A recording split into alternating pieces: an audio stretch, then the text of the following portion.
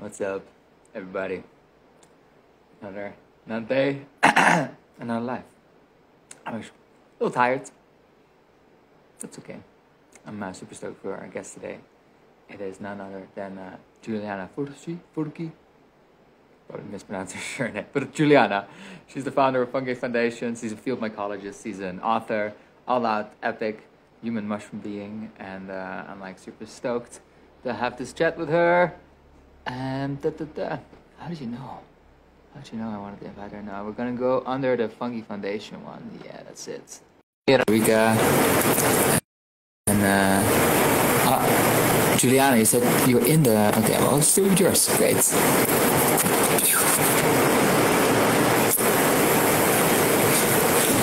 Yeah, that's what I thought. Like Giuliana wanted to go live on the Fungi Foundation, so she's just gonna switch accounts real quick. And in the meantime, uh, I, I think we're just gonna have an amazing talk on mushrooms and um, mushroom activism, fungal activism. That's the thing, and uh, foraging, which uh, right now in Central America is full-on rainy season, and uh, we're super abundant here. I'm always happy if I can grow mushrooms in their natural environment, which is more my thing. And here we go. Check it out. Ah, it's Giuliana again. Let's see. The sound is super high. Hmm. Interesting. Hi, I'm seeing. Hey, Oh, Giuliana. hello. So have you made it? How are you? Happy belated birthday, Jasper. Ah, thank you, thank you. I'm uh, I'm pretty good. I'm a little tired. We had like a, a big workout today, uh, but that's all right. So it's been uh, like a nice couple days. I'm actually leaving the lake soon for a couple months, so that's also coming up. So I feel like it's ne never enough days, but uh, I'm very happy to be sitting here with you. Where are you calling from today? I'm in Santiago, Chile at the moment. Ah, Yeah. So, nice. Hemisphere, beginning of the world. Yeah, it's always so crazy to me that you guys are just coming up this summer. Is it also mushroom season in Chile right now?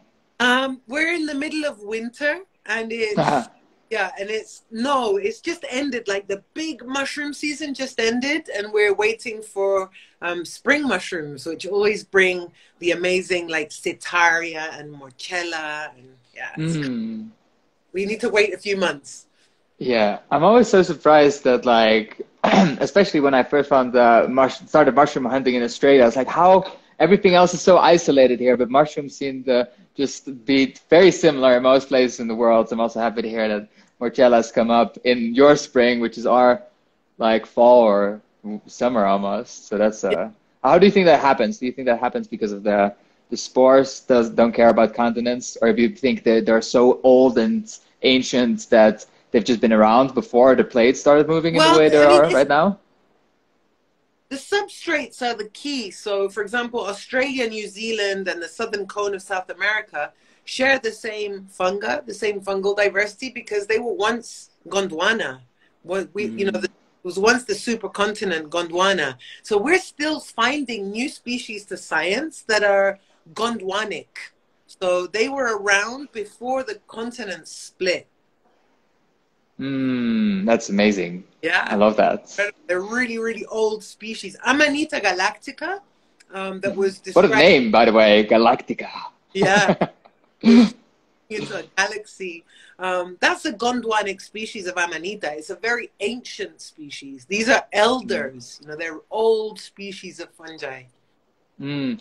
Why do you think that they have not evolved as rapidly as, uh, for example, animals have, right? When Gondwana was still around, even like 15,000 years ago, we still had like massive megafauna here in America, right? You had giant ground sloths and like mammals, especially, seem to evolve so fast. Well, you know that I mean fungi do some fungi evolve really really fast, right? So when we talk about mammals, it's like saying um let's you know a mushroom. It's not like fungi, right? Because mammals are just a group of kingdom Animalia and you know so we can't really compare all the kingdom of the fungi to just mammals. Uh, Mhm. but in the kingdom of the fungi or queendom of the fungi, there are many species that have evolved you know, and, and many, many groups of species that have evolved very quickly. And there's still some old ones around. And it's the same for plants and animals. There are still some, you know, even mammals that are ancient, that are old species, and other you know other groups that have evolved um, more quickly. Mm. I, I, I always thought that sense. Yeah, can you repeat that? You dropped out because I think if I talk and you talk, so it's a weird thing. That different in that sense. It's just that we don't see them all the mm. time. We need to coincide in this magical encounter that that can only happen sometimes for a few days a year or a few days every many years. Mm. And I think that's like a big part of the, the magic of uh, mushrooms. And to go back like a little bit, right? Because like the mushrooms we were talking about, they're either like Ascomycota or Basidiomycota. And like it seems that a lot of the Basidiomycota, which you can in some strange way relate to animals because they're very, um, the very evolved specimens of the queendom. Um, but like that Psilocybe cubensis, that's like the one I'm specializing also in foraging, is found everywhere in the world where we find humans, even like in super remote places like Australia, must indicate that they're also like been around for a long time. Well, you know, it's funny. We we um, the Fungi Foundation together with the Natural History Museum of Utah and with um, Bryn Dentinger, we're working on a phylogenomic study of the genus mm. And we've been working on that for over a year now. And um, so we're getting whole genome sequences of all the species, and we're getting them from types, from the type species. Um, and we've already been able to um, get, you know, some ideas and some insight into the origin of the genus um, that comes from Africa. Mm. The, the, genus Psilocybe originates in Africa, and from there it radiates around the world. And we've also been able to do some timing onto the evolution of the species. And it's, it's so much older than humans are as a genus. So much older. I mean, they've been around, Psilocybe has been around um, as, um, as, a, as a conformed genus um, for many uh, decades of millions of years. yeah, so mm. over million years, maybe 20, over 25 million years. Wow, amazing. Yeah. Are you guys working together with um, like um, citizen mycologists? We just did a webinar with Alan Rockefeller, and he taught yeah. like DNA barcode sequencing, and that that must be such a help of just having people that go forage and send out these um, DNA barcodes for sequencing to these labs. And like, do you collaborate with these people or the labs that do the sequencing? Well, we're do we're doing full genomes, so it's mm-hmm. not genes. So the the the sequencing that that Alan and friends are doing has to do with certain gene clusters or gene regions. But the work we've been developing now for, for the last year has to do with the whole genome of the type specimens. So mm. the actual specimen from which the species was described. Because that's as far back as we can go with certainty to the Latin name to be able to talk about, you know, to be able to compare. So um, where see, we, we get a full genome from the Psilocybe cubensis specimen from which Psilocybe cubensis was described.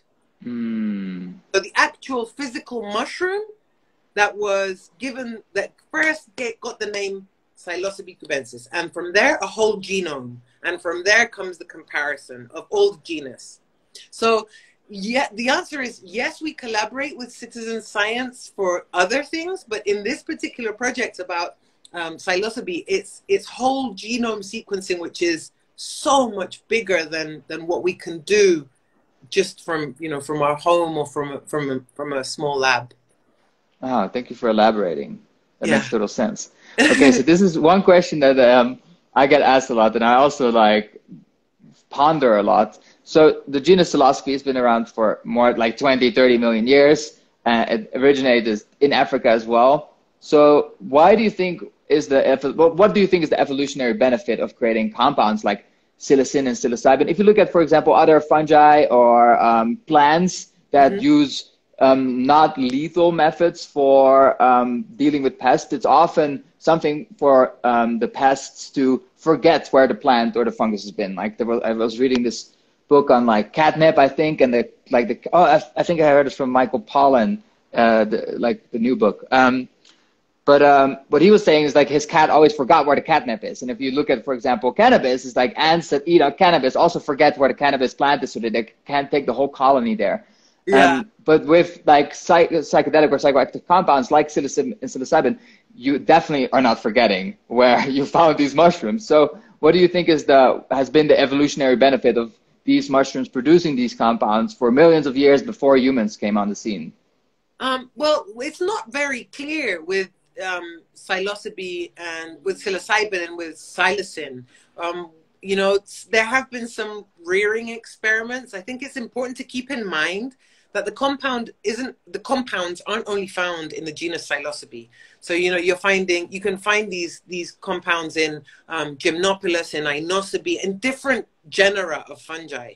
Um, so it's not something that's exclusive to one type of mushroom. It's not even exclusive necessarily to the mushroom shape. So it's something that the fungi are um, producing um, that is independent of their um, interaction with humans. That's we know that more or less for sure, because otherwise, you know, it would only be found in one certain group of fungi that has to do with us. Um, we, you know, there may be some sort of uh, it might, you know, there's no answer. I could elaborate with many, you know, ideas that I've had you know, over the years, but we, we don't know why different fungi produce psilocybin and psilocin. We don't know. Yeah is one of the great mysteries, and it will always be a mystery, I think. And that's also exciting to me that there's things that we probably as humans will never figure out. Yeah. And yeah, I, I kind of like normally I do a little introduction and like I just felt like diving deep in, but I'm still curious to, to hear your story of like how did you become the empowered fungal like matriarch almost that you are for the community in many ways that you are today. Like where did it start for you? Did you grow up in like a mushroom loving family? What was it no, like for you? No i um so i've been working for the fungi now for 23 years. Many can't tell when they look at me. Now i'm joking. Um, but yeah i started 23 years ago and it was from an encounter in a forest where i saw a mushroom that i wanted to know who i wanted to know who it was and there were no books here in Chile. And I thought, I'm going to do this. And it was just like a, it was like a, a, a lightning bolt. And it sparked, that first encounter sparked uh, an, an ineludible responsibility. This, I, I have tried to do other things in my life and it's just impossible. I, I this is what I was born to do. And honestly, from that day on, I, I have always worked for the fungi. And because there was nothing done here, like there were no books, there was nowhere to study, there were, you know, there was hardly anybody to talk to about fungi. I just started building all that uh, first by myself for the first 10 years or so. Um, and then I founded the Fungi Foundation, which is the first NGO on earth that works for the fungi, you know, full time. We've, we've been around for close to 10 years now. Um, born in Chile, but happily now expanded. We have office in the U.S., one in Chile, and and hopefully many more will will appear. And um, it's just been a, a really focused um, mission that isn't separate from my existence in any way at all. Like you know there's there's nothing in my life that doesn't revolve around fungi and and that's been the case for over two decades. So I, and I, I think that what one thing that also happens is that you know there there are a group of us that have been around for for a very long time doing this you know before there was more of a sort of you know hype mainstream hype around fungi. And and you know that gives you a lot a lot of um like you really had to hack the fungal passion and love and work to stay in this space and you know make a living and to be able to to um you know know more. Because there was nowhere to to to study. There was no you know i was 21 or 22 maybe 21 and i you know saved up for a year and i went to take a course with paul stamets and that was 2004 or something um, when Paul had a stutter, so you know, I, I met him with a stutter, the one he talks about in, in the movie Fantastic Fungi, and um, and you know, and then working with Gary Lincoff and just all the old folk who who strived so much to make fungi, you know, be acknowledged and be loved in the mainstream. And now what we're living is this massive boom of fungal love that we dreamt of, you know. Um, so I think it has to do with this just like fixation, obsession, and not not being able to separate fungi from from existence, and then just having really gone through decades of a, of a hard space, a space that wasn't as easy as it, as it is now. Yeah. Mm. Yeah, and like thank you for pulling through, and like that's always so inspiring to hear passion make people go through a path that actually doesn't make seem logical at all, and actually come to a point where it all pays off. And would you mind sharing a little bit about those early years when you decided, like, okay, mushrooms are my life. I'm not going to do anything else what like what were some ways for you to make it sustainable before even the Fungi Foundation? Yeah, so um, there, there. I mean, there wasn't a way to make it economically sustainable, um, and that involved a lot of you know working, you know, working night working during the day to be able to you know get.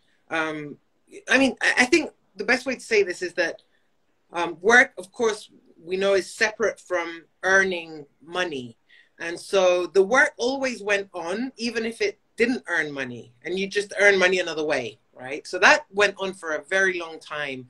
And the foundation is born in a way to build a platform for people to be able to find a space and to maybe start creating ways of, you know, generating income.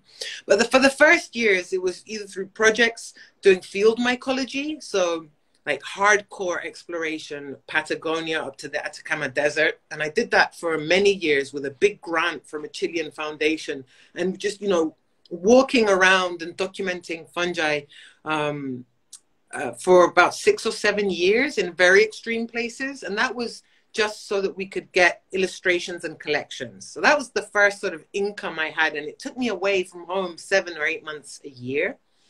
And I did that for, yeah, six to seven years. Then I I um, in 2000 and ooh, maybe three, I set up a reishi cultivation um, like business and imported reishi to Chile. This is with my friend Carolina Mañasco. Um, and we set up a big, you know, commercial reishi, uh, reishi cultivation farm. And, you know, people would come to us to purchase the fungi and we, I just like couldn't sell them. I couldn't sell I couldn't sell somebody, you know, with some sort of illness, a, a, mushroom. So, you know, we gave them all away, you know, shut down the business. Like, we're not commercial people. And that's when um, I set up the foundation. So I, I started writing books about fungi. Um, and I started, you know, helping the government try to get fungi included in the legislation. And that's when it really just came to, to the fact that I had to set up, you know, a legal structure that had to be a non-profit because I was just useless at selling. Like I can't, I can barely sell a book. I like, I like giving away, you know. Uh, I was born to give, not to sell.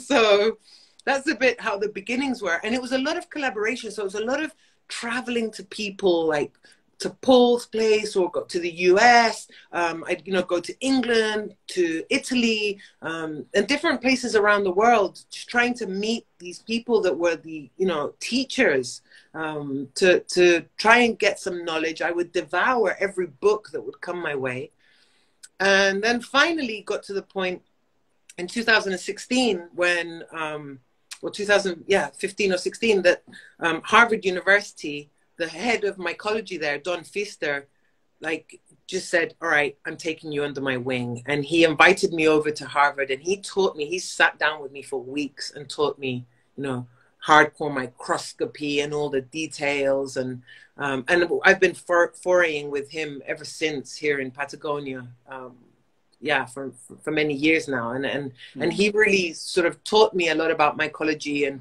um, and invited me to be a Harvard associate. And that opened many more doors like the academic doors. Yeah.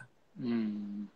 I think that's one of the most beautiful thing about the the mushroom world the mycology world because there's not like many institutionalized places for people to learn. It's a lot about finding the individuals and then the individuals that you connect with and then the individuals being a mentor student relationship and not only are you learning but you're also building a, a, a beautiful like human connection which is yeah. i think the connection is obviously the the archetype of the mushroom. So it's it's really cool. Like that's how it's working and that's also what we're really focused on. That's why we're right now 50 people or so living together that are all stoked about mushrooms and what they can they can mm. give us. And yeah it's like super inspiring and i must be very I'm very happy you made it to where you are. Well, with giving so much, you know, like I've, I, I, also live giving, but like uh, I've my past has crossed me through a, a, path of sales before as well, which is I'm, I'm sometimes also grateful for. But like it always goes hand in hand, right? And like I'm very happy that I'm at a stage, and Fungi Academy is at a stage that we can start giving more, and especially yeah. to like Fungi Foundation, and that's like um, I'm so happy that you guys are are there because like we, we're supporting some local projects that like on water and like helping the local Mayan community here, but like there's nobody else, and it's just so weird to me that there's more species of fungi than there are to plants, like six to one. Some people are even saying ten to one, and there's there's one foundation. Yeah, the the um it's true. It's it's incredible that there's only one um, organization. Well, I think there are more. There are more. Mm. Like we were we were the first, and there are many other NGOs building up in in Latin America, especially. But um, but they're still sort of you know more like uh, they're not full time organizations. You know that that big leap of faith is hard to take. You know, and it's hard to sustain. But I was just going to go back and I, the data. So the six to one comes from uh, a study in the UK, in the British Isles. There's a study um, for boreal fir, for example, that gives you 21. You know, so there are different studies out there depending on the region of the world. So, um, the, you know, the mean is somewhere between 12 and 15. Imagine that species of fungi to every plant. Isn't that incredible? Yeah, I just did a, a bunch of research on endophyte and endophytic fungi for this new course we're creating, and it just like point one, I was very impressed how much research there was available. I had to go through several like more than hundred page papers, and the, that there's never been a wild plant that was encountered that didn't at least have one endophytic fungi in their system. It's very interesting and like some people were even claiming like really radical things that like no plant is making medicinal compounds, but the fungi within the plant cell walls are making the compounds, and the plant is just sort of a like a hospital, and the the, the fungi in the in, in the plant are the nurses. You know, it's it's um, I always like to say, you know, it's all about point of view. When I mm. see a tree, I see a photosynthetic symbiont of a fungus, right? Some people look at a tree and think, oh, you know, or look at the mushroom and they think, oh, it's just it's the mycorrhizal fungus of a tree. But you know, it's it's all about point of view. The one thing that's just undoubted is that without the fungi, no plant would live out of water, and they really just are the an essential part of life on Earth. And that's why at the foundation we're very focused on their acknowledgement, their their formal acknowledgement in policy, in language, um, and and from there building all the frameworks that can then trickle down for there to be you know funding for education for research you know and for different things but we need to say the f word you know we need to say their mm-hmm. name yeah yeah especially since to me it makes total sense that like panspermia is a thing. So for people that don't know, panspermia is the idea that like life didn't originate on Earth, but it's like originated elsewhere, possibly even extra uh, stellar uh, yeah. or on Mars or on Venus. And somehow spores that we know can survive into space. We even know that living lichen can survive in space for up to three weeks. I think it's the longest that NASA has put them out of the ISS and then brought them back in, and they just went and did their thing on a regular basis. Well, if I always envisioned this, if I was like a, um, a civilization of hyper intelligent beings and I wanted life to uh, thrive everywhere, I would just shoot so like create an organism like a fungus even, or like and shoot spores in every direction and hoping that it would land because anywhere there's water and the conditions are right. Some people are even saying that like there might be some fungi living on Mars. Like it's mean is the most logical, efficient way to get life to be everywhere. Yeah, yeah. I mean, it's it's really it's really an incredible way. I mean, just the spores. Um, and and that's where that's why originally fungi were considered you know cryptogamic plants because you know the the mosses and you know the ferns and even some protists you know like red algae they all produce these these spores. But really i think it's the ballistospore that really changes you know the way um, the way dispersion you know can can happen. This this mechanic ejection of spores out into into space um, that that many basidiomycetes have, that many mushrooms have, it really is a game changer. And and I always like to mention Buller, you know, Buller's drop. We call it Buller's drop, but it's really not his drop. He just discovered it. But he discovered this fantastic mechanism, you know, where fungi use water to eject spores like really far away from their bodies. It's incredible. It's so, so awe and one awe inspiring, you know. You mean the the, the hedgehog fungus, the Pilobolus crystallinus, or the, no. the Duncannon?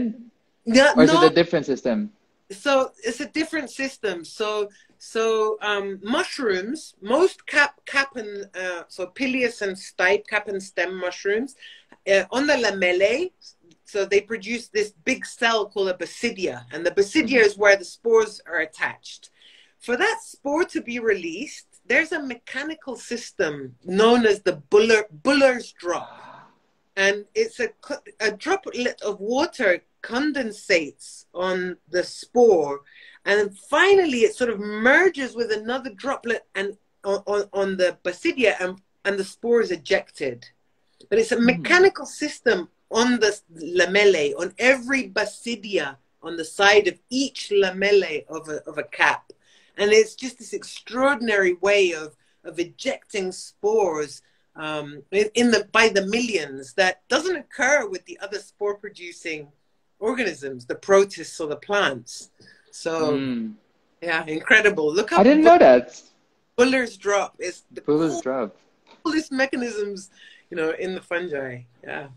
Yeah, yeah. I, I for me, like what came to mind with water and fungi, it's the, the like the heterofungus that uses water tension. So it just accumulates this water drop on its, I think it's an ascomycota, so it's like a spore yeah. sac. And then like a catapult, it like launches back and it shoots off the sac of spores and it goes from zero to like 40 kilometers per hour in the first millimeter. And that's like yeah. Mach 10 and it's like the fastest organism on earth. It's, uh, it's crazy how those fungi are able to apply that. Yeah, that that um that mechanism does it so fast. But the incredible thing about um, the basidiomycetes that form the mushrooms is that that's how they all eject their spores. Mm. Something that has evolved to happen, and it's um, and it's the only way for the those types, so the the agaricales that form this um, this structure have this. It's called the ballistospore. Mm-hmm. It's just you know the as you say you know what what a better way to just maximize your opportunity to to live and to uh, you know to um, establish in, in any life form in any life place mm. I was like, I made a, a, video together with the YouTube channel after school. There was a lot about fungal intelligence, right? Because fungi to me are so intelligent and they don't have a perceived brain. And it's almost like these uh, bullet drops uh, Bullospores. What was the exact name again? But they um, mm, but they it's ballistospores. They almost look like they're planned ahead and not like randomly evolved. How we're thinking that like evolution works right now. It's like an another random mutation. But some of these mechanism in fungi, they don't seem that random at all, and like they almost look like they have like some manipulation over what how their genome evolves. Well, yeah. In, so there there are features that have when they, you know, you, you hear, um, you know, heavy scientists say this feature has evolved multiple times. What they're really saying is that um, different organisms got to the same conclusion through evolution, you know, on separate roads many times. So, for example, with animals, the eyes have eyes have evolved many times. It's not that in the in a, in a you know in what we know in a phylogenomic or phylogenetic timeline it's not that there was one original organism with an eye and then everybody else who has eyes comes from there. No. You have many roots to eyes. With fungi you have many roots back in these trees in these relationship trees back to the same features. So you know um, the fact that fungi go underground and go secotioid and go into the soil. That has happened many times in separate lineages of fungi. It's not that it happened once and then they all derive from there. So yeah, that's I call that intelligence in a way, and evolutionary intelligence. Yeah. Mm. Mm. I like that word. I don't think I've heard it before. Evolutionary intelligence. I think it's uh, it's really powerful. So, like, we we talked about this idea of mycophilia, right? And this rise of mycophilia all over the world right now. And if we look at actually at our ancestors, that was already the case. Like, uh, like I'm a big fan of Otzi the Iceman. Big, like I used to go skiing in that area, and that's what I first learned of him. And I was really into like paleo humans, and I just thought it was super epic that we found this this completely intact human. Um, um, why do you think like that mycophobia started to appear, especially in Europe? If you look at like how aware um, somebody like Otzi was of his environment and how unaware we were until like I guess like maybe a hundred years ago. Like really, like only like the the love has been only appearing for the last 40, 50 years or so. But uh, like the knowledge is like only been rediscovered in uh, like the middle of the 19th century, I guess. Uh, one of the things, like the oldest one, like uh, recollections I have of um, of our understanding of like fungi is that I read somewhere that actually uh, J.R. Tolkien was inspired by his friend who was a mycologist on mycorrhizal fungi, and like that's why Sam got this pouch of dirt at the end of uh, of the elf, so he can like regrow the Shire with this amazing special dirt.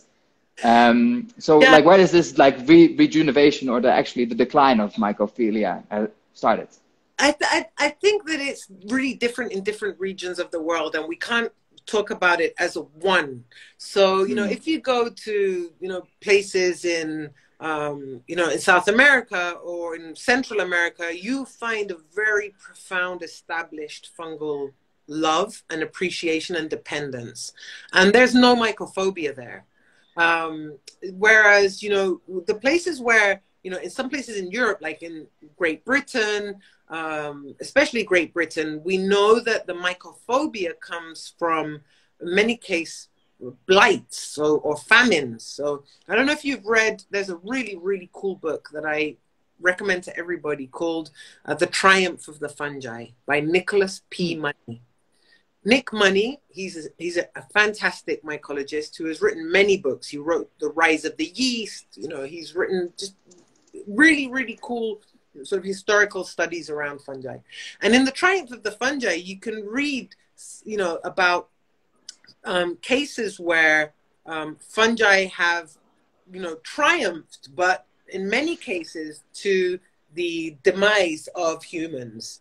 And so some of those are explain, you know, what what's going on. So, for example, in Ireland, you know the potato blight you know produced a huge famine. People were dying and it was you know it was associated to a fungus which we now know may not be a fungus but it was associated to a fungus that was um, that was killing the potatoes that was the staple food. So we'll normally find mycophobia associated either to the catholic church saying that it was paganism or to some sort of biological um, you know, action that produced hunger or illness. But in many, many, many places of the world, mycophilia is very much intact.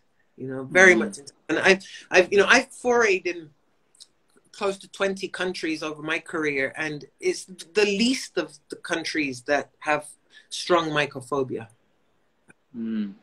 Yeah, here in um, well, we we're living in like Central America, Guatemala, and the heartland of the Mayan culture, and it's really funny that like there's pockets where the Christian church had made more of an impact. Like on here in this side of the lake, it has made way more of an impact than on the other side of the lake, where you have this big Mayan hub, uh, Santiago Atitlan, and on the markets there they sell different amanitas that you can eat and yeah. uh, like some really rare species that I, I, don't think it even has a common name. It's one of my favorites. It's pseudophystellina radicata it's like this really firm odd looking mushroom. And it's like there's these micro um, cultures basically that are happening here. And it's it's it's very rare that like 30 kilometers away they speak a completely different language um, natively. And like to see that that culture is also like be established regarding that language. Um, one of the ways that I've always felt, and like I, I, I, want to do more research on this, so I'm like, I just wrote down the triumph of the fungi, and like I, I have a flight coming up, and I'm sure I'll blast it through in one go. Um, but um, like that, to me, it just made so much sense that the witch trials that happened in Europe and even like in uh, some parts of the United States were so connected to like the decline of knowledge of the fungi, right? Like if you look at the the archetype of the the the the witch it's like the forager somebody that's really completely tuned in with the environment and obviously those people are, have the knowledge of the natural ecosystem of what mushrooms can heal us what are not edible which are um, probably um, powerfully um, powerful sacraments to use in like some psychedelic ceremonies. Uh, but like if you're being trialed for a job that you have it's not necessarily that you like really want to protect that job. You're just like well if mushrooms like have the potential to get me on the stake, I'm just gonna stop being into mushrooms for a while.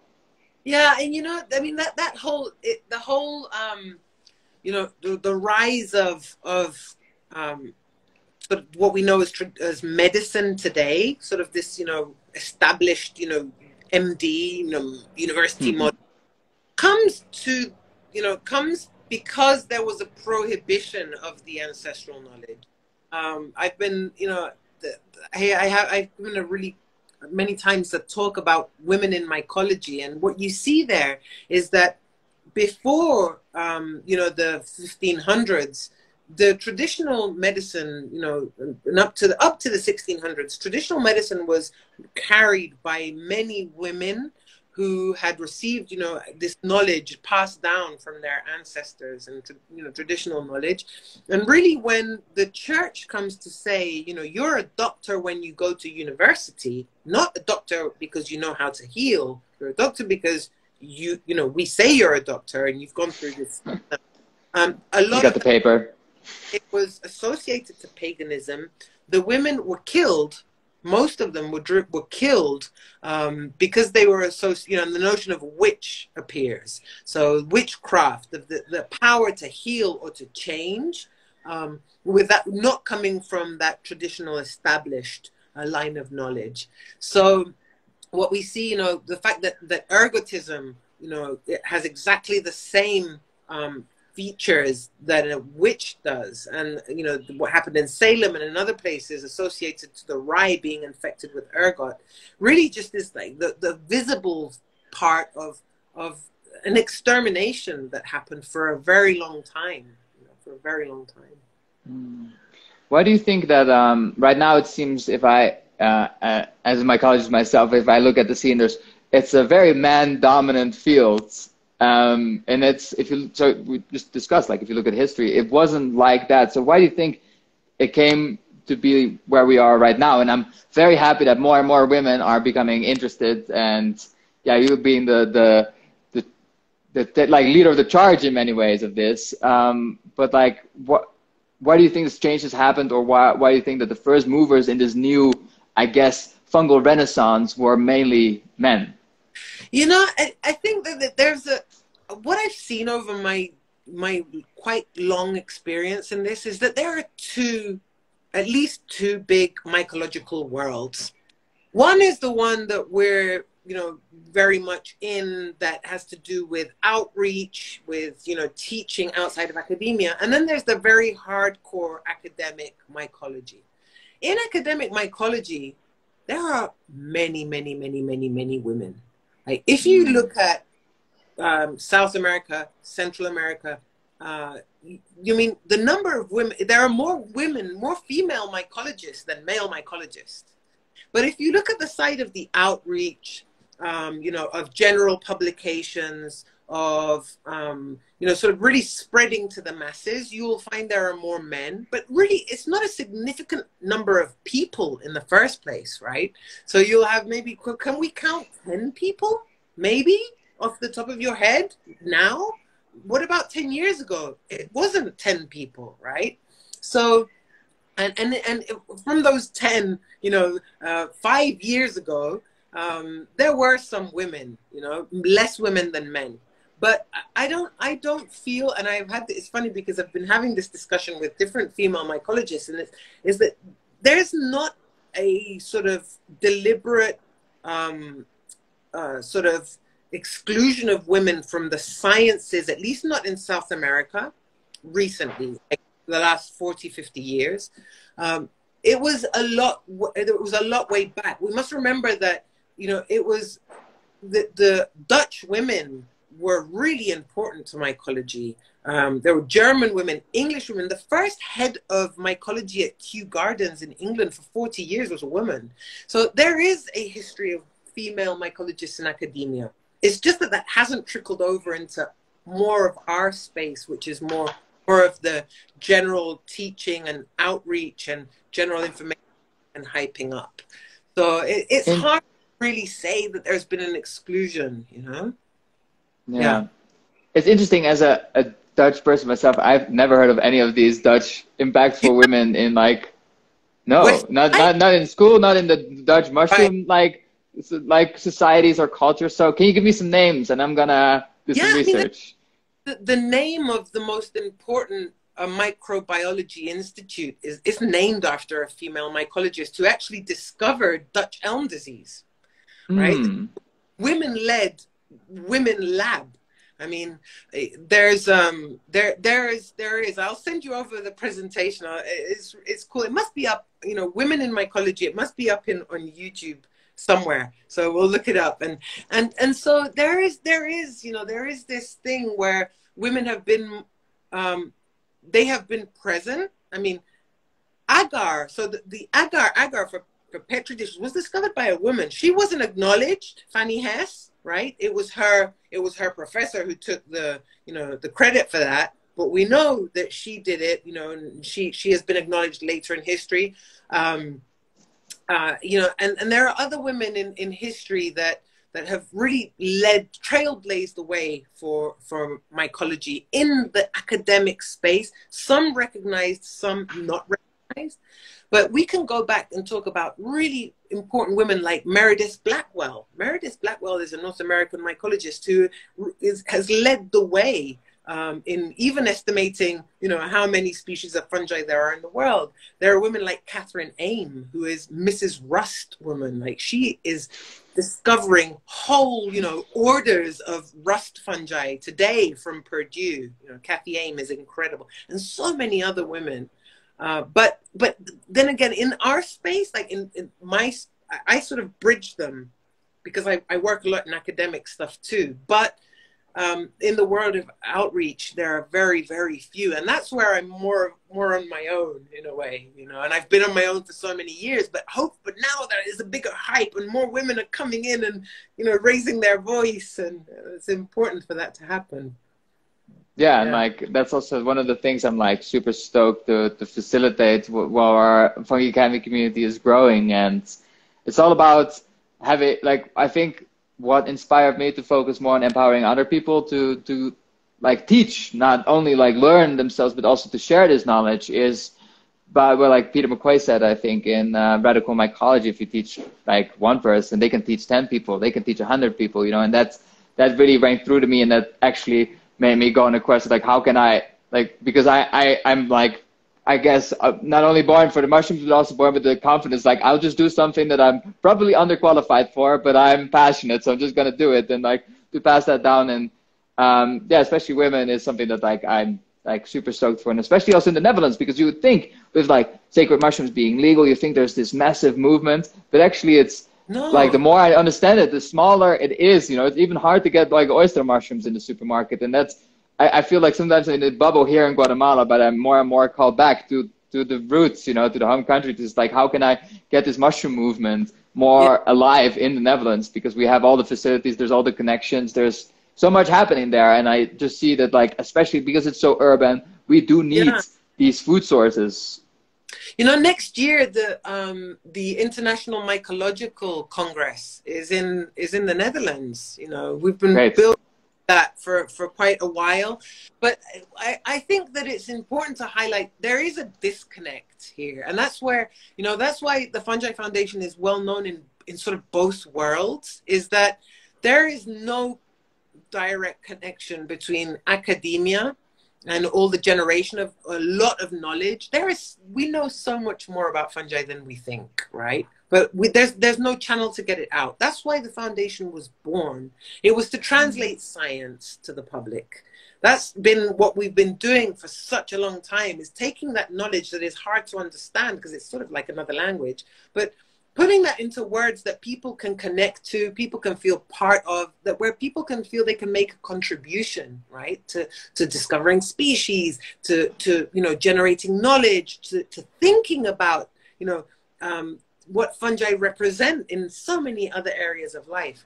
But that disconnect is very real, and um, and and more and more, you know, people like Paul Paul Stamets has been really connecting more and more now. He's you know he, he's always published and he he's formed in the university, but he's now really getting into the hard science and and connecting a lot of what you know what, what people thought were just ideas and random knowledge to hardcore science.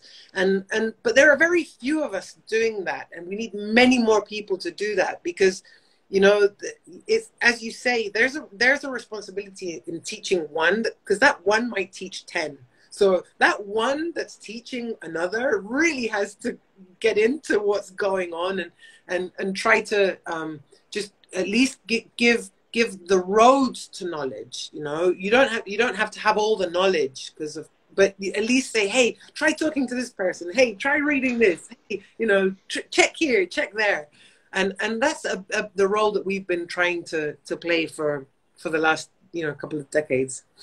yeah. yeah. I think you're doing fantastic because you make it relatable and personal, and your passion just makes everything fun, right? And I think that's one of the big mistakes people that want to be a teacher they make. They're like, oh, I need to give information to people. No, especially with the internet, people can find all the information they want. You just yeah. have to make them excited by telling great stories. And luckily, the the Queendom of Fungi is filled with great stories yeah. in many ways. And themselves, they have all the attributes. You know the the um the aesthetic and the like big you know headline attributes they're all there. They're, we have nothing to add really. You know it's it's all it's all there. Well i feel like that the the collaboration of what they're doing and then our human essence of storytelling and making it like even more exciting than it is because it is well I, I wouldn't say more exciting but like at least making what they're actually doing uh, understandable for for like most people but yeah because yeah one of the things that actually got me out of academia is that like I had to write in the specific language and I had to like do this to this and that was just never interesting to me because I was always inherently a storyteller and I made this beautiful story. It's like, oh no, you have to oh, this is not a word that you can use and you have to really write formally. And I was always like, this is boring. I'm uh-huh. like not like I'm not being like my fire is not being stoked. And I think that's the most important thing. It's like how can we stoke all of each other's fire to just do whatever we want like want to do most in the world because I feel all humans have the great, great desire to do good for our communities and our home as well, you know, and like we just need to find those things that are uniquely uh, gifted within ourselves and how we can inspire others to find their own uh, little flame inside yeah i definitely. I, I totally agree and it's so so beautiful that we're finally at a time where knowledge isn't only endorsed you know in a big institution um, that's run by um, you know people who who have a lot of bias. That's you know finally that's that's so important. Um, but i i am you know in a way because i have this more like a bit of an old oldie um oldie in a but goodie but um you know i sometimes worry i have to say i do sometimes worry that there's a lot of stuff that you can't that uh, that you that you that people replicate without verifying. And the verification doesn't have to come from a university. The verification can come from so many different ways. But i think it's important to exercise critical thought and to not just repeat right? So when you and and and that you know that's my my hope for for for now in in every sense my the, my hope for my son you know when i see him he reach he researches everything on the internet. And i keep on thinking to myself i hope he can question this as well you know? I hope that he can also realize that not everything is answered. Not because you found an answer on the internet. Doesn't mean that, that something is answered right? So that's um that's really I, I, have that desire. And I just wanted to go back because I found the name. It's Johanna Westerdijk. Johanna Westerdijk. There we go. Like, and she, um, very important uh, Dutch woman. She yeah. is. Um, she was the first director. She was appointed at Utrecht University in 1917, and she was the first director of the CBS Fungal Biodiversity Center and the first ever female professor in the Netherlands. She was a mycologist. So yeah, Johanna. Amazing. Yeah. You should update her Wikipedia page because it says she was a plant pathologist. Well, right. she, she studied the right, right. The, the, so she discovered Dutch elm disease. Yeah. Uh, that's super was, impressive. She was a mycologist, plant pathologist. Yeah. But we should update it. She was very, very important. It's funny that like her people called her Hans, which is a very uh, male name these days. My dad's called Hans, so that's uh, oh. another extra fun fact. Okay, to turn back a little bit about this idea the, from the internet. Um, yeah. because I was born in the year that the internet became accessible to everybody, 1993.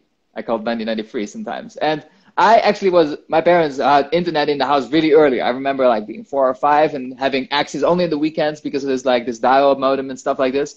But when I went on the internet, there's one rule: believe nothing. Nothing is real on the internet. And somehow, in the last 20 years or so, everybody forgotten this main rule. It was like, yeah. and they just accept every random Facebook post that they encounter, and that to me is not. It's just so weird because it, it's not how I was raised with the internet, and I'm still always like doubting everything, even the things that I've read four or five times. I'm like, this is like especially Wikipedia, it's just so easy to adapt. I can just change the whole thing about Johanna Westerdijk if I want right now. yeah, it's really to have that critical thinking and um, and you know and, and and that also helps you understand the speed that that that is necessary sometimes um, to to find something out. And and you know, per, in my personal journey here with the fungi, you know, I I am um, it's been a it's been a journey, an internal journey to sort of try to get people to understand that things take time. It's not immediate, you know. You can't you can't um, think of something and then immediately have a result the next day. You have to do it, and that that takes the time. And the Fungi Foundation really has, you know, concentrated in in sort of getting it done, which has been really cool. It takes time, and and, and but isn't it wonderful to be able to dedicate time to discover fungi or to, you know, get them in, incorporated in, in legal frameworks? Well, that's not as fun. It's fun when it happens. It's not fun to get it done. But um, just just to take the time and the, and the critical thought and you know and get people together for fungal appreciation in in a in a long hold effort. And that's uh, i love the way you're all doing that at the academy with you know getting people to take a course you know to take the time to to really dedicate to to actionably to do you know to cultivate. Let's do it. Get your hands dirty. You're not just watching a video of it right? Let's do this. Uh, i just mm. i have i really want to thank you for for everything for having you know, for having put it out there and and thank you for the support as well. Wow, you're so welcome. Like uh, I, I don't know how else I can like uh, embrace these amazing compliments and.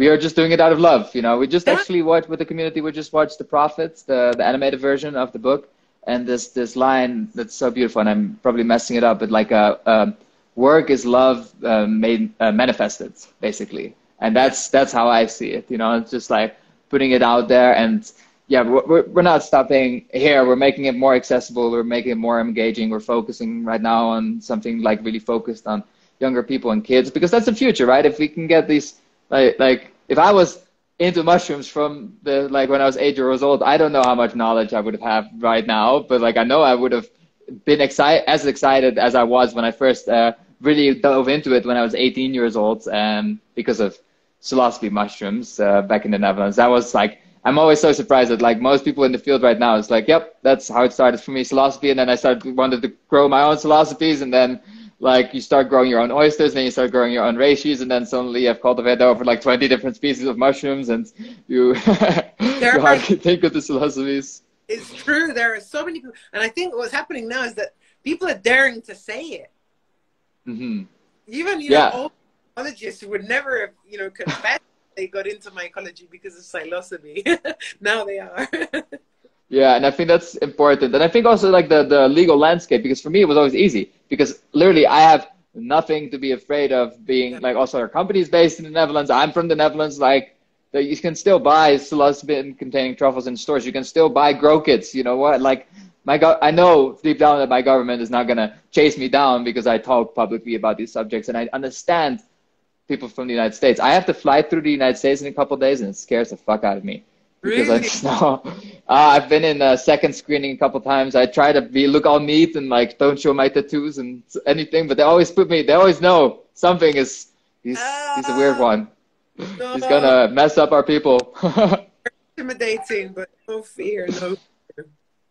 No, I know. It's like it's just an understanding that there's a, a possibility of having a not so pleasant border experience more Yeah. so than a than a fear, and that I don't have it in any other country than the United States. So I completely understand where people based in the United States and working in the United States coming from, and especially because it is and has been very common that people that either sell spore prints or do mushroom educated have been um, knocked on the door by some federal uh, officers. And like I think Paul Stamets also talks about this story in the Tim Ferriss podcast that like he had helicopters flying around and you know like of course you're not going to be public if you know that that's like looming over your heads but now with the legal landscapes changing you know we can finally be free and be ourselves and express the things that we want to express Yeah, you know, it's so important because that's the, you know, the, the legality of anything fungal is a big issue. You know, Where- I mean, there's no, there's no acknowledgement of, of fungi in most legislations in the world. And,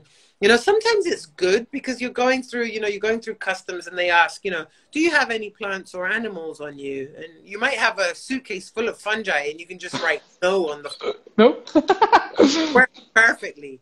But in, in other scenarios, it doesn't because you're like, wait, you know, we want, we, you know, there's there's no there's no acknowledgement at all of these um, organisms. But you know, it's a two way two way with customs and that.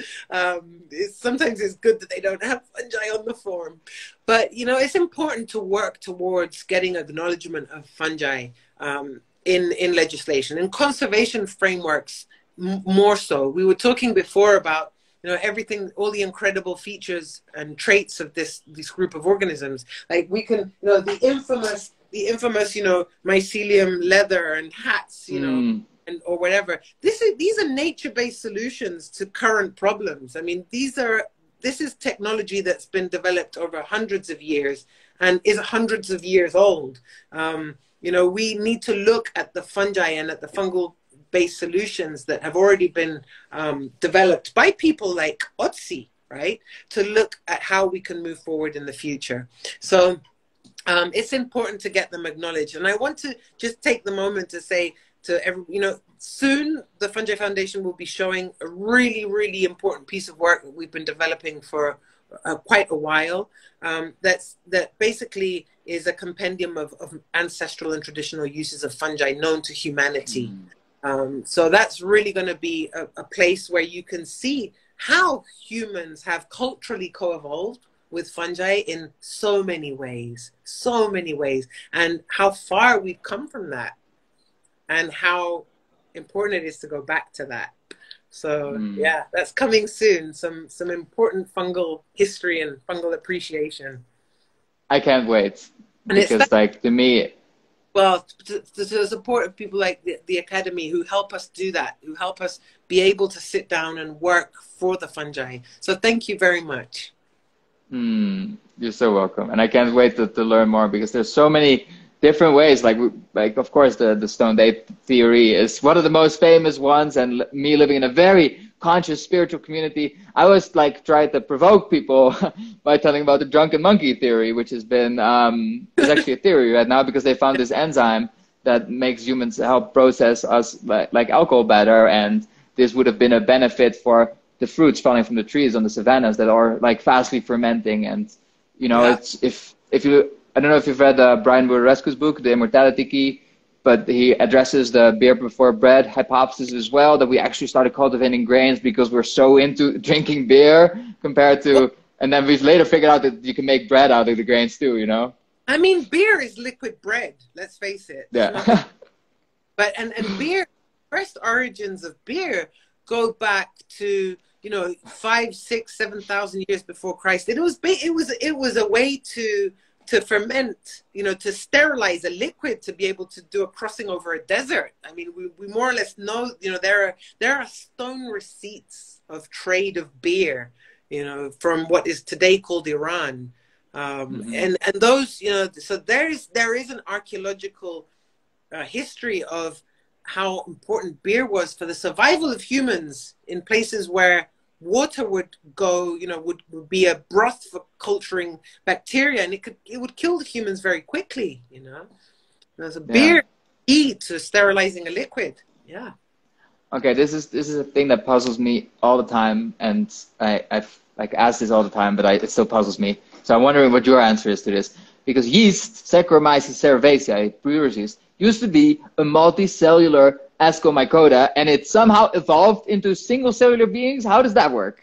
Okay, you need to read The Rise of the Yeast by Nicholas. Okay, I, the same man. Okay. My good friend Nick Money. Nick has amazing books. What a great name, by the way.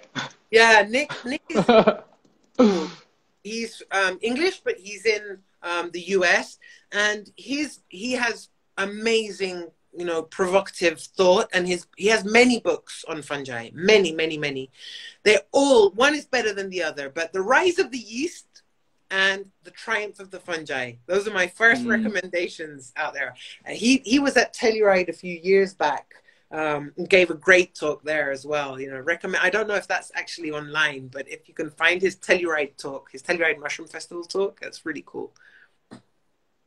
Amazing. Yeah i can't yeah. i can't wait. And also Get just went to the. Sorry. The academy should go to Telluride to the Mushroom Fest. I know it's not gonna happen this year, but next year it's like it looks like it's gonna be the international like mycology uh, thing in Amsterdam. Straight after that, Telluride. That's what it looks like right now. Amazing. I'm like beyond stoked.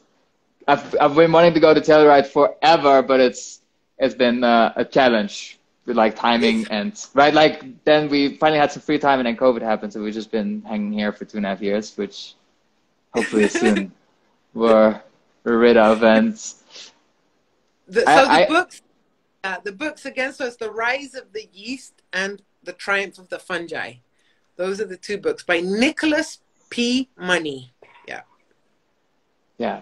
Fantastic. And i hope one day that um, we're, I'm, we're already kind of planning a little bit to have a, um, a, a, like a mushroom conference here in Guatemala too during the rainy season, and then we can. Uh, I know some uh, people that have been trained by the elders, like the local Mayan people that have been trained by the elders that are actually great foragers, and I would love to take people in and like embrace a little bit of the the local Mayan mycophilia with uh, uh the people here, and I'll be in, in paradise and it's some I think there's I, I, forget the Latin name, but it's like a uh, it's basic almost identical to Amanita caesarea, but like oh, it's one of my favorites. Oh, yum!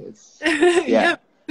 so good. and we'll, we'll, have it happening here, and uh, like there's even um, a local Mayan lady that is growing oyster mushrooms with lime pasteurization techniques, and wow. we're like slowly empowering her to teach other women because like I think Guatemala is still one of the malnourished countries in the world, and for yeah. her it's just so easy to. Oh, uh, to grow foods.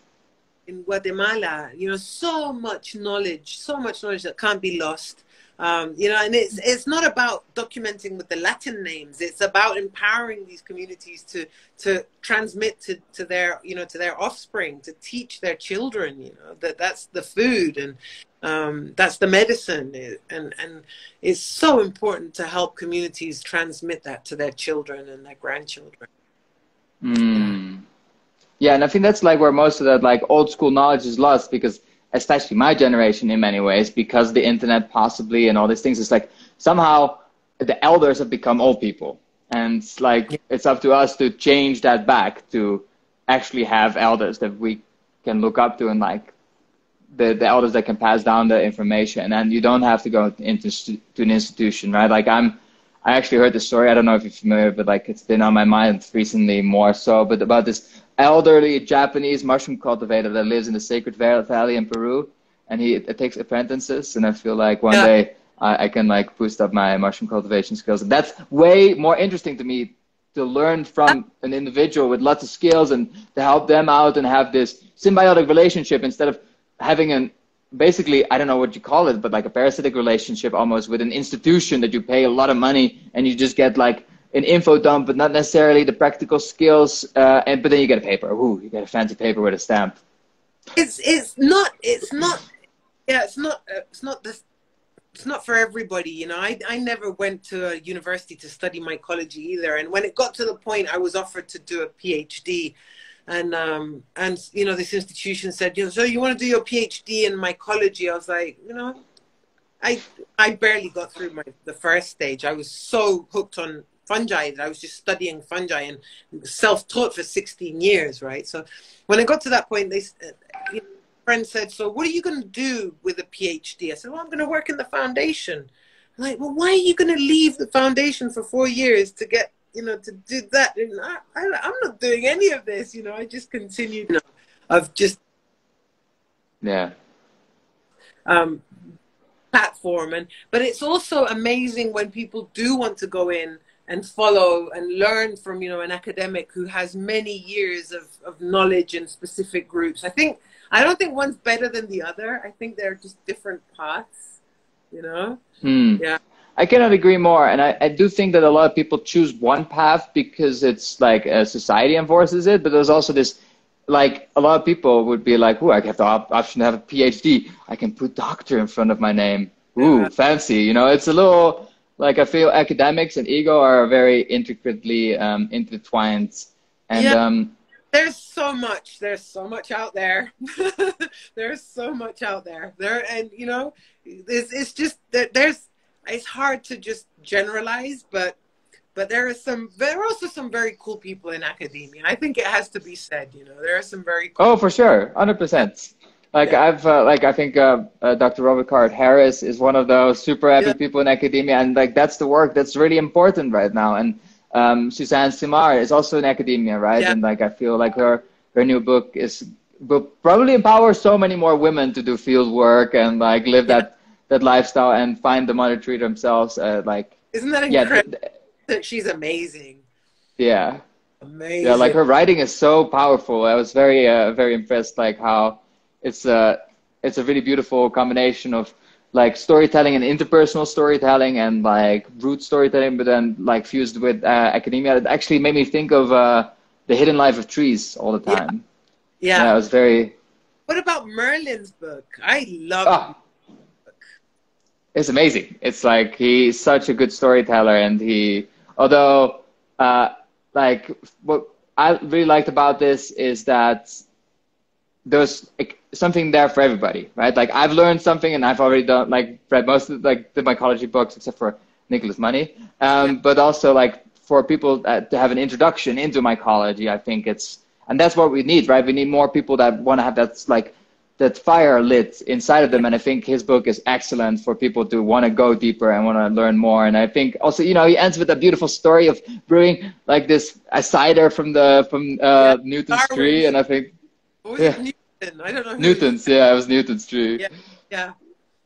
And and that's that's that story is just like ah, full on. But like I'm also I, I was definitely biased because I've been a fan of uh, Rupert Sheldrake and uh, Cosmo Sheldrake even before I knew Merlin was in existence. So I knew like anything this family produces must be great. so good. So good. Yeah, we're honored that the foundation to also have him be a part. He's he's a, on our advisory board and we, we do a lot of stuff together. He's just amazing. Yeah. I'm I'm so glad. I'm so glad that he that you know that book. It's also so timely after the Fantastic Fungi film that that that Entangled Life came out. That really was the the the combination of what took, you know, what took us all from like the underground more to the mainstream. You know, mm-hmm. I, I I really lived it because I was just you know in the space and it, it was it's the powerful combination of fantastic fungi with entangled life i think that really did it. Yeah. Yeah. Yeah like fantastic fungi is like full on the, the spark and well man we we, we make hooked yeah. Yeah. We make time lapses of mushrooms here as well and we're like so impressed what louie does. It's like if uh, louie ever does a time la- like time lapse mushroom masterclass we're the first people to get there. Yeah, most of those mushroom images are stephen axford's Ah, Stephen Axford's. Uh, the time lapses too? Yeah, most of the time lapses of mushrooms are Stephen's. Yeah. Do you know Stephen? Planet fungi. Yeah, is that these the Australian planet fungi? Uh, like, yeah, that's cool because the the our uh, like director, our creative director is also Australian, so it seems to be something with like Australians and mushroom time lapses. Yeah. it's very special. Not all of them, I think, but almost all of them are, are Stephen's. And, Yeah. Uh, Like he must use like a box, right? Because there's no way that you can have a consistent lighting. So you find like a pinhead of an amanita in the forest, and you make like a set and a box around it. he, Like- he, so yeah, he, he actually has a container in his, you know, he lives right on a forest and he, and he takes, um, logs and substrates into like a container and he has a controlled setting there. Um, it's, um, But know, how is he doing the ectomycorrhizas? Well, there aren't too many if you look closely. Mm, but there's an amanita. Um, yeah, there's an amanita. Uh, you can actually, with the amanitas, um, you can take a very small pinhead with a chunk of soil and you can fully grow your amanita. You know, it will. Yeah, I mean, I I've been doing that for for a long time. I if I want to get good shots, we we take even if they're ectomycorrhizal. Um, you can take a chunk of it's not ideal sustainability wise but you take a chunk of the soil and you can take it back to a place and, and see the growth with the right humidity uh, yeah it's not it's not impossible Yeah. Okay, fantastic. We know Yeah. what to do now. Amazing. it's so cool and the other one the one i always do is you know just take the shit to the house and water poo water dung Mm. take a big a cow pat you know cow shit put it you know on Mhm. your table and water it and then things grow it works Yeah, for sure. Yeah. 100%. not only Like, cow, uh,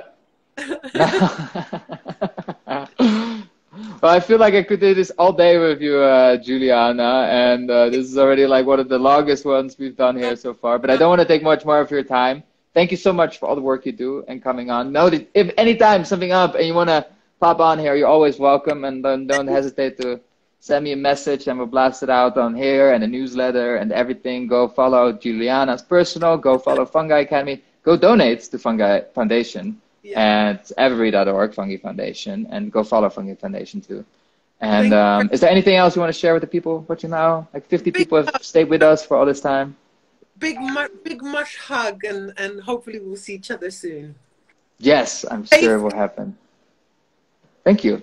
Yeah, I'm like stoked for it. So much love. Yes, the life will be saved. Ciao. Ciao to the mushroom